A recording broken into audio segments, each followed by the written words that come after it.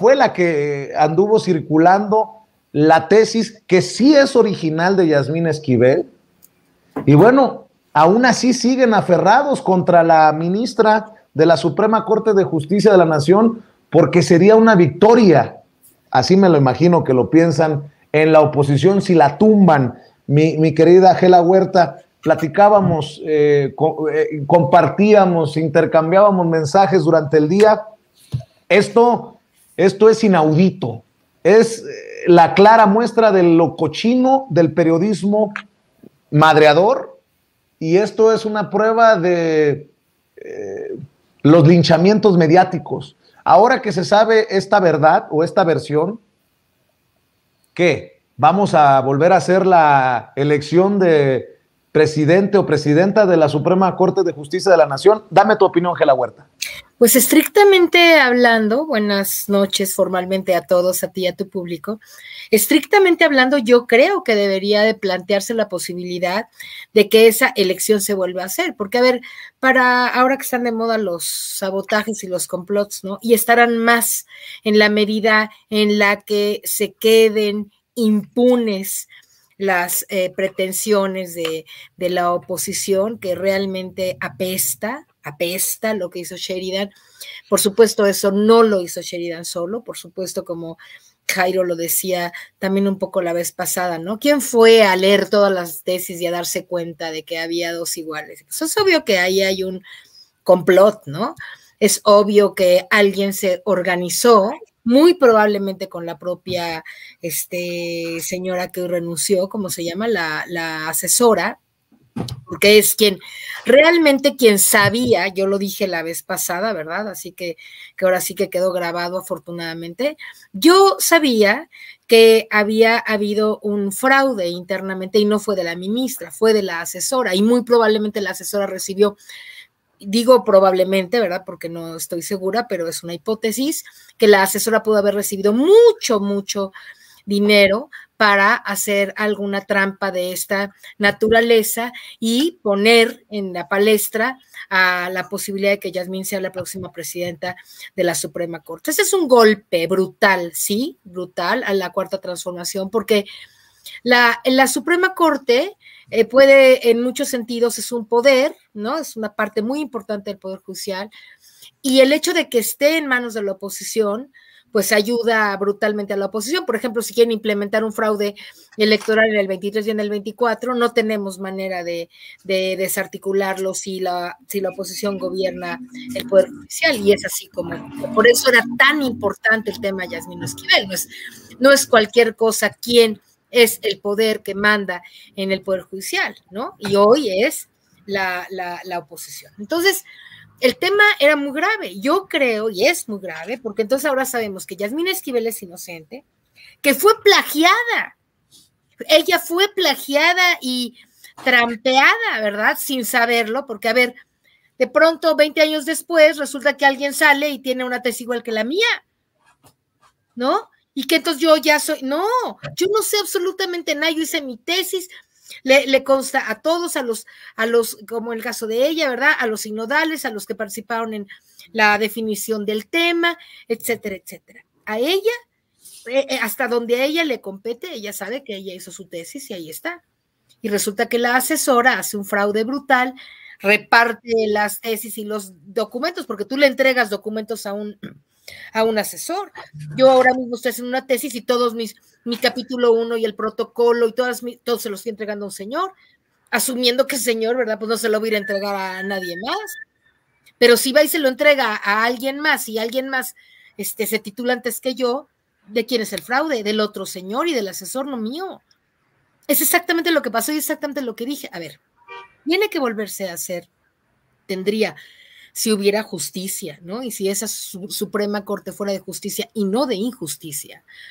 Tendría que volver a haber unas elecciones ahí, tendría que quedar absolutamente desmanchado, impecable el nombre de la eh, este, ministra Yasmín Esquivel, y tienen que poner, pagar cuentas quienes hicieron esta denuncia, porque no lo hicieron en cualquier momento, no por haber hecho la denuncia, sino por haberse inmiscuido adentro de un complot que finalmente dejó a la ministra fuera de la presidencia de la Suprema Corte. Fíjate que estaba oyendo, ayer la información, seguramente tú la tienes también.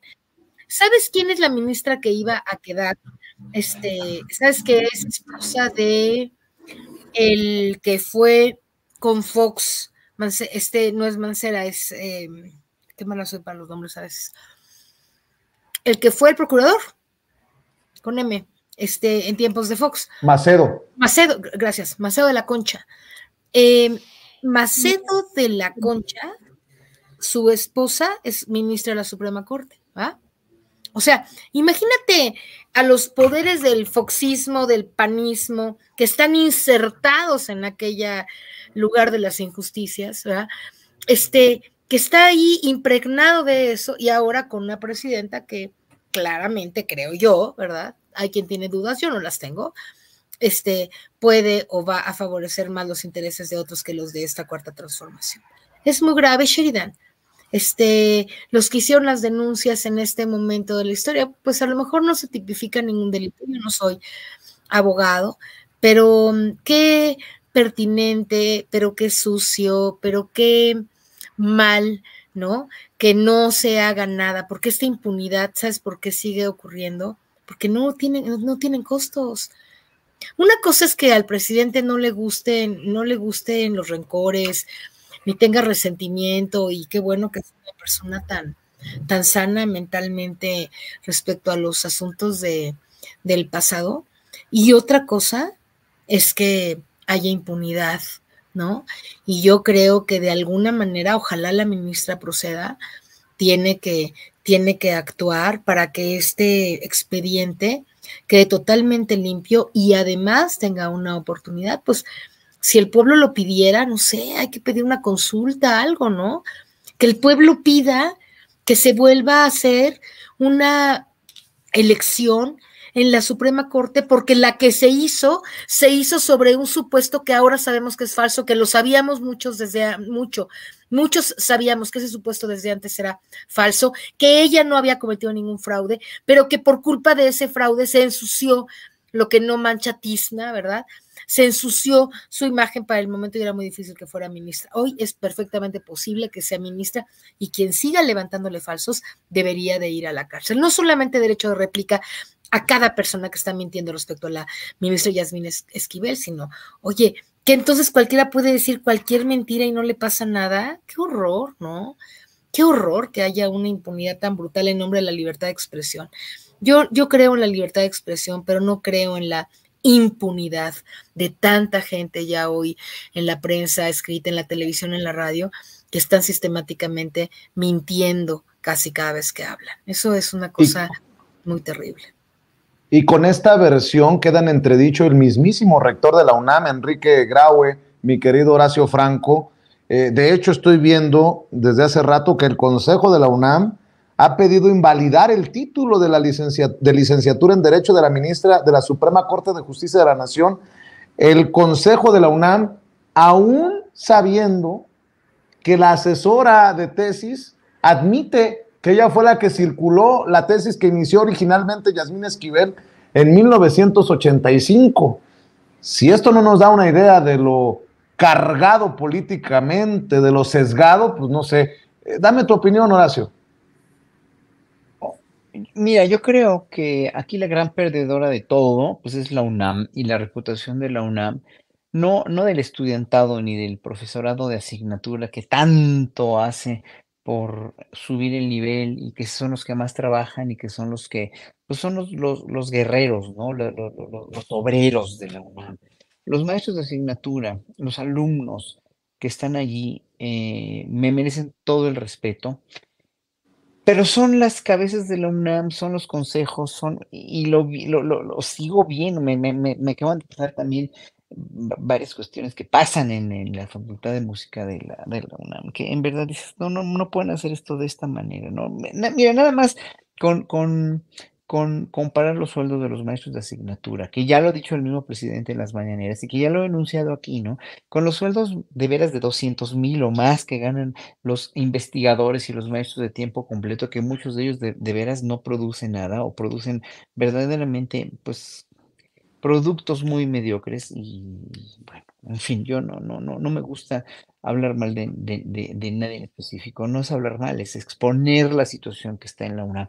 O precisamente la cuestión de, de, Lorenzo Córdoba, ¿no? En el Instituto de, de, Investigaciones Jurídicas, etcétera, etcétera. Y ahora con esto, y ahora con esta cuestión de, de la tesis de la ministra Yasmín, yo lo que, lo que, lo único que creo, lo único que siento aquí es que la gran perdedora es la UNAM y es un reflejo verdaderamente fiel de toda la corrupción y la, la, diferencia de clases sociales que hay en México, la diferencia de estatus, lo que te da el estatus de investigador o de, o, de, o de maestro de tiempo completo, aunque te lo hayas ganado. ¿eh? Hay muchos maestros de tiempo completo que sí ganan, digo, eh, te lo han ganado a pulso y hacen trabajos maravillosos.